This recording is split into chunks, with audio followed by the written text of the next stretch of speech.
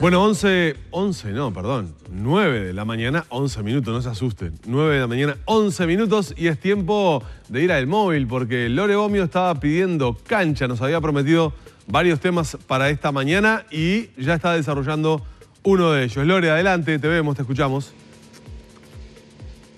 Bueno, muchas gracias. Sí, salió el sol, pero el trabajo continúa para levantar todo lo que quedó de la tormenta eh, de ya hace dos días. Estamos en Ejido y Durazno, aquí el municipio B viene trabajando en la segunda etapa, que es, bueno, lo que ya se podó, se sacó, ahora hacerlo chip de madera con la chipeadora que estamos viendo el trabajo allí para ya sacar de la calle los, los residuos y los restos de árboles.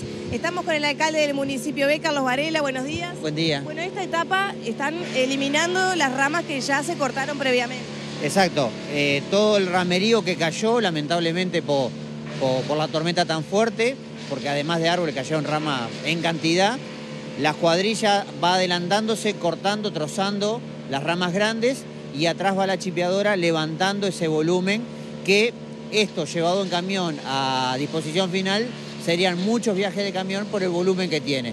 Con la chipeadora hace que mejore ese rendimiento de la, de la tarea de los camiones y por tanto avancemos mucho más rápido una tarea que nos va a llevar varios días.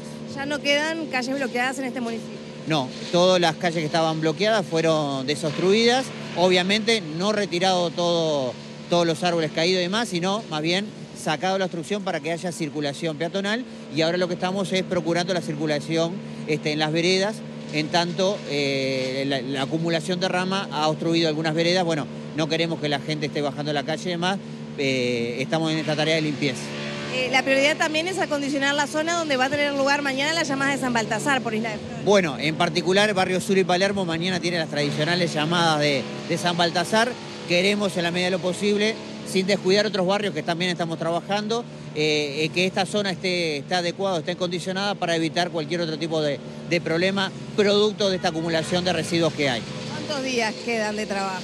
Bueno, eh, hoy te estimaría que una, quincena para poder dejar en condiciones óptimas el territorio. Además, el trabajo que después que terminemos con toda esta etapa en vía pública nos va a llevar a recuperar los espacios públicos, las plazas, porque por ejemplo habíamos plantado florales unos días antes que quedaron destrozados por la, por la acumulación de agua en, tan pocos segundos, en tan poco instante. Entonces va a quedar, sí, un mes de trabajo que obviamente nos llama la atención a, prever hacia futuro este, todo este tipo de, acciones climáticas porque lamentablemente eh, esto es efecto del cambio climático y creo yo, sin ser técnico, que vino para quedarse. A ver, ¿qué pasa justamente con los árboles que ya quedaron malheridos, digamos, y que todavía están en pie y que representan un peligro para un próximo temporal? Bueno, lo que, lo que sea un peligro inminente al día de hoy, eso ya fue bajado ya está, ya está extraído, capaz que no levantado, pero extraído. Lo que tiene riesgo hacia futuro ya fue marcado para que en el devenir de los días sea extraído. Eh, esta es una política que venimos llevando todos estos años anteriores. Ante la duda que el árbol tenga una patología que pueda generar un problema, el árbol se extrae. Por supuesto, como contracara de esto, plantamos más de lo que sacamos. Estamos eh, en el año sacando unos 500 árboles, estamos plantando unos 600 árboles, para mantener también el ecosistema, porque bueno, los fenómenos que estamos viviendo en el clima son producto también del daño al medio ambiente que hacemos. Sacan 600 árboles y es un porcentaje más o menos que representa del municipio. ponemos, sacamos unos 500 y sacamos unos 600. Y ponele que, que ande en el entorno del 10% del arbolado que se está renovando. El 10% necesita ser recambiado. Exactamente, exactamente. ¿El, municipio tiene los recursos para podar, para hacer los recambios? Bueno, nosotros venimos una inversión promedio en estos cinco años anteriores en el entorno de los 30 millones de pesos. Es una cifra histórica para el arbolado de, la ciudad hoy, particularmente del municipio B. Este, estos montos en otras oportunidades era lo que se invertía en toda la ciudad, lo estamos invirtiendo solo en los barrios del municipio B. Obviamente esto es trabajo en raíces, los trabajos puntuales que se llaman, trabajos de poda, trabajo de plantación, trabajos este, de desbrote, pero lo que siempre es necesario más.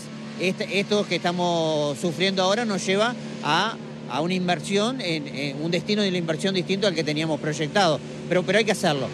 Lo que vamos a ir a discutir es el mecanismo del sistema de poda. Justamente eso te quería preguntar rapidito que tenemos que cerrar. Eh, ha, habido una discusión en las últimas horas justamente con la poda, si la poda que se está haciendo es funcional o no a, a eventos como los que vivimos el otro día. Bueno, ahora lo importante es limpiar la ciudad y sacar los riesgos.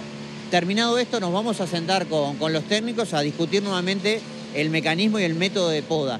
Nosotros hace dos años atrás utilizamos un método en la zona del Parque Rodó que nos criticaron mucho por él, pero que el ingeniero que teníamos en ese momento nos avalaba, que era el rebaje en altura. Este, bueno, vamos a evaluar en esa zona cómo, cómo se comportaron los árboles con referencia a las otras zonas con el otro mecanismo de poda o sin poda para determinar si no hay que volver a, a sacarle volumen en altura a los plátanos particularmente, que son los que más crecen, en tanto que uno tiene que prever que estos vientos que sufrimos el otro día pueden ser un accionar del clima de forma permanente. Muchas gracias. No, por favor, a las órdenes. Bueno, así se está trabajando en el municipio B. Continuamos ahora con ustedes en estudios.